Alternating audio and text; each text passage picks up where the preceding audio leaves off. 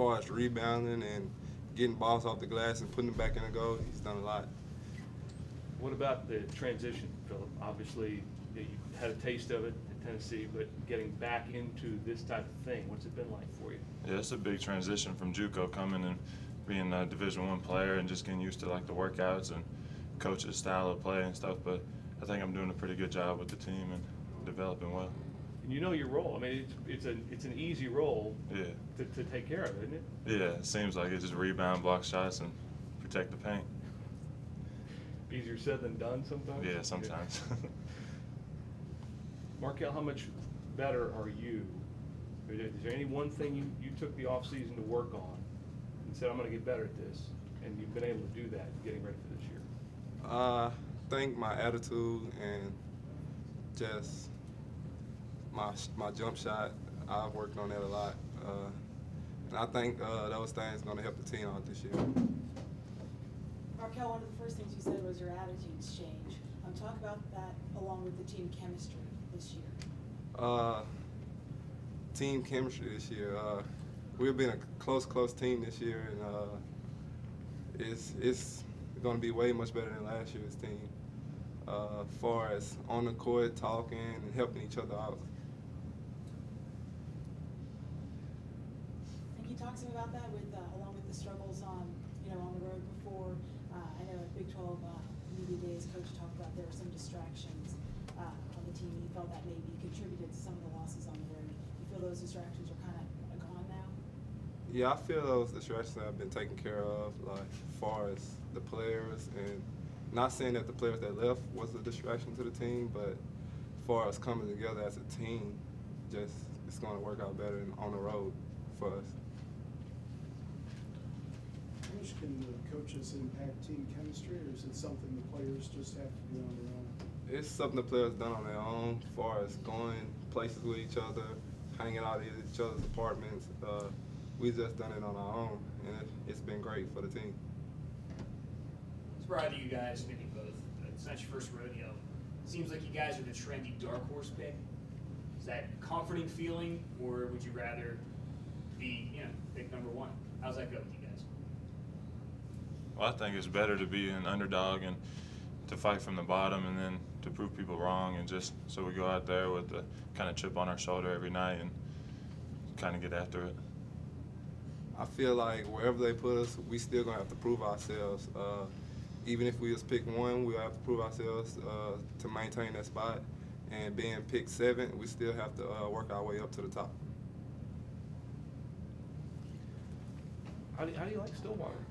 I like it a lot. I adjust to it well. It's kind of different from being in Chattanooga and kind of a city atmosphere, but being here, especially with the team, how close we are, we go do things like go bowling and stuff. So it's been pretty fun. How different is, how different is Coach Ford's system compared to the one at the school you previously had? Well, JUCO alone is just different from uh, Coach Price's style at JUCO, and then Coach Ford's more on top of us and expects a lot more out of us. And just at JUCO, you're kind of on your own, and here, like you know what to do, and you just got to go out there and do it. Is it a similar playing style, or is it? are you- No, it's a lot fa- It's a lot faster here than JUCO, and like you got to do a lot more stuff than than you would at JUCO.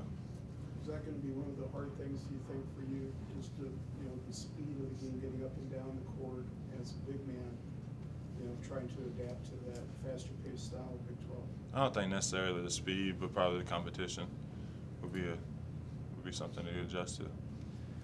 Markel, you guys have a chance to play twice in about two or three weeks in Madison Square Garden, uh, but you got to earn the first one there. As you looked at the schedule, is that those trips? Is that what really has jumped out to you before you get into conference play? Uh, yeah, those trips have jumped out to us because we have a really tough schedule this year. So playing great teams before conference time can really like put us on the map and just put out a good word for us.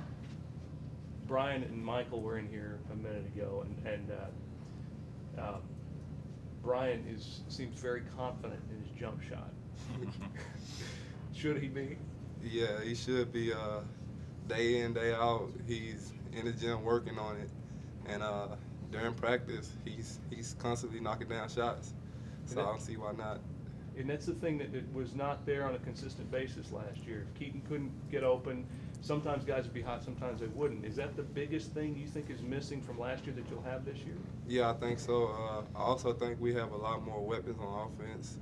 Uh, we're adding Le'Bryan Nash, Phil, and Cezar. Also Mark. Uh, I think we can uh, do a lot of things with those uh, people. When uh, Cezar, does he go by Cezar or CJ? CJ. CJ? Okay. When he went down in practice, what was that like? Uh, it was scary. Uh, not not able to see him move. Uh, it could have been way worse than what it was. It was just scary for the whole team. Did it take you guys a while to kind of get back? I mean, I, coach took you off the court, didn't he? Yeah, it, did. it was kind of scary seeing him down there, especially him being a younger player and coming in as a freshman. You don't know how well he would bounce back, but now that he's back, yesterday was his first day of practice, so he kind of bounced back better than we thought he would. So Did he just kind of like like nothing had happened, or could you kind of tell, or was everybody kind of I don't want to I don't want to bump him too hard, or what was that like?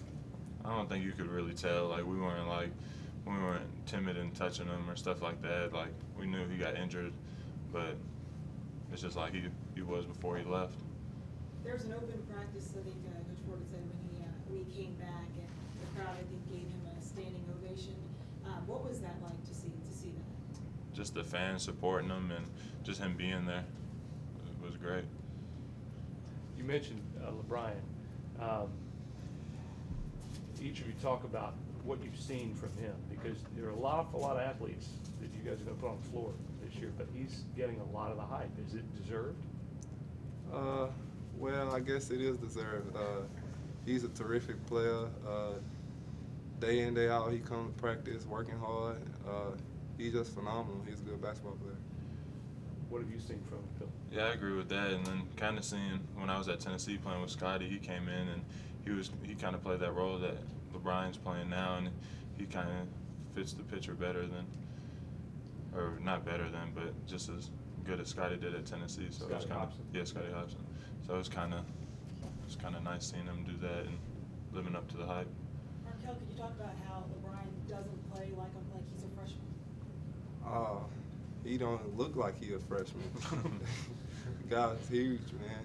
Uh, he, I don't, I don't see him as a freshman. Uh, when I go out on the court with him, uh, he's a pro player to me. Uh, he go out, uh, he bang hard.